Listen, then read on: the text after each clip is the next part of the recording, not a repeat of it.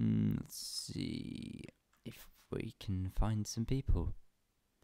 No. No.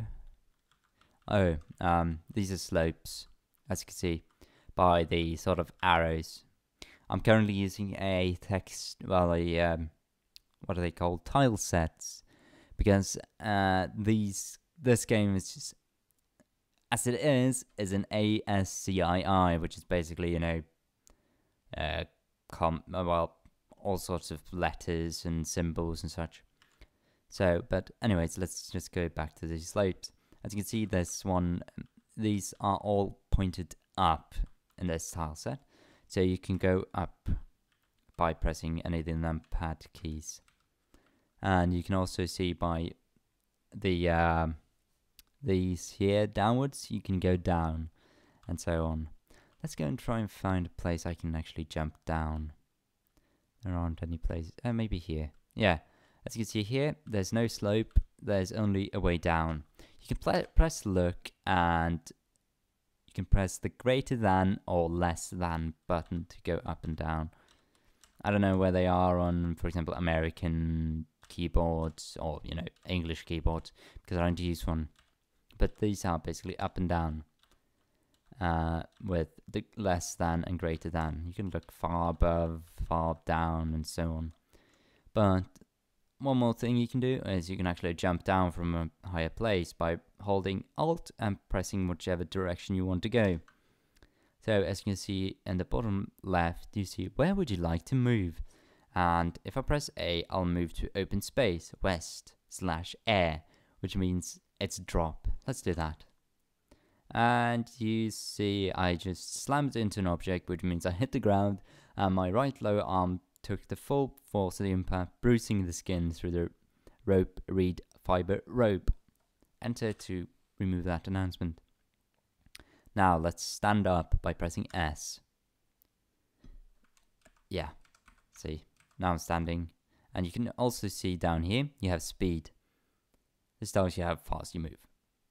Ah, a thousand is pretty good. Uh, you get high speed by increasing your agility. So you can lie down, stand up, and you see your speed decreases accordingly when you go down, when you stand up, and lie down on the ground. Uh, yeah, so we also have our weapon, currently equipped weapon, silver whip, and our current armor, which is the Osprey leather dress. Let us look at the inventory. Uh, you access the inventory by pressing I. And here you can see all the items I have. For example, the silver whip is in my left hand, my copper shield is in my right hand, and so on. You also have a backpack, uh, which you have on your back, but it says upper body. And you also have, for example, a sheep leather water skin, which is in the osprey leather dress, or on it, or whatever. I don't really know what it is. And you can see contained within that leather uh, water skin is water. As you can see by pressing N there to get the uh, sort of description, and you can you can see this is sheep leather water skin. Yeah, you need to drink and eat in this game. So let's look at the uh, backpack. Inside the backpack, you see I have oysters, which is my food. You get pretty much a random type of food whenever you start. You can get all sorts of weird stuff. Like now I have oyster, I don't know why, and I also have a large copper dagger. And that's about it for my inventory. To go to the next page and, well, previous page, press the asterisk key or the uh, slash key, forward slash. Escape when you're done. Whew. So, let us look at how to place stuff in your inventory. If I can. Yes. So I could, I pressed P to place. And I could place my silver whip in my backpack, like so. Now you can see I don't have it equipped, but I'm also going to place my copper shield, like so. Now they're both in the backpack. You don't really want them to be in the backpack. And remove them from said backpack, you press R, you find out where your copper whip is, for example, and you remove it, like pressing Q. and then you take it out. And yeah, you can see down here, you have a weapon, silver whip. And you do the same thing with your, well, you took you took it out and it automatically equipped in your, uh, in the first available hand, which will be my, let's see, where is it? Oh, I need to press inventory. It's in my left hand. Then we just remove copper shield, and that should be my right hand. Apparently this girl right here is left-handed. Now, let's look at inventory. Uh, to remove an item, you press R again, and for example, I'll, re I'll remove my loincloth right now. So I've removed my loincloth, and you can see it's in my right hand. You, for example, place it, by pressing P in your backpack, like so. And then you can remove it again, but this doesn't auto-equip. And there's a reason sort of for that, but I don't know why. But uh, to equip certain items, you need to press W, and then you just find whatever item you want. For this, I want A, which is llama loincloth, and I equip that. Yeah, and you can also do the remove by pressing R for your backpack to take it, well, take it in your hand, which I now have in my right hand. And I could just press where and backpack. You can do the same with quivers and so on. Okay, let's look at eating because eventually you will get thirsty. Actually, I'll take that later. Uh, yeah, because we are. This is going to be fairly lengthy, unless I die. Then it won't be fairly lengthy. But let's pick up this axeman because I see one. So let's have him join us. Things go fairly quickly whenever you've learned how to do this. So you press K to activate the speech command. You choose whoever you want to talk to, like so. Press enter and enter and enter, whatever. And then you do service, for example. And here you can see a creature of the night has are people carrying in fear. Uh, is a short walk to the southwest. Seek this place and kill Uzin Parched Strokes. Body corrupted beyond recognition, he assumes a beastly form to terrorize us. You press enter to continue dialogue here. This vile fiend has killed seven in his lust for murder. Beware, it is said that only copper harms the creature. It doesn't really do that. Other arms may not cut so deep, but if you have the copper, use it because it's better. Now, I have a copper shield, so I'm most likely to attack him with that. Okay, so now we come into another essential part of Dwarf Fortress adventure mode, which is traveling. You do this by doing capital T. So you have to press Shift and T.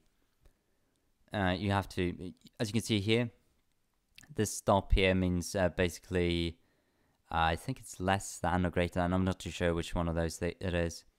I think it's less than Yes, less than, if I'm not too mistaken. Uh, and then you have clouds, which you can press C to look at. Uh, doesn't really help me. It doesn't. There aren't really any clouds, so. But let's press M to get up this this map. This is basically the local map. It's quite zoomed in, but what I want to do is press M twice to see this screen here. As you can see, these are villages here. This is Stronghold. This well, and I think these are bigger cities or capital cities. I'm not sure. I can't read these too well yet, but these are also villages here. And up here you have dark fortresses. Uh, can we look at those? No, we can't. Um, I don't think so. No, uh, not for now. And then you have Q, which is our quest log, or our log. And here you have tasks by pressing a small t. Uh, you have to press capital Q to and access that log. And to zoom into a certain location, you press Z. As you can see here, zoom to selected. I have this automatically selected because that's the only task I have. Now you can see this guy is in this area here, in this stronghold or capital city, whatever it is. And you have to move there. You can see there's a path, but I don't know why it goes through the sea. Don't ask me. You also have sites.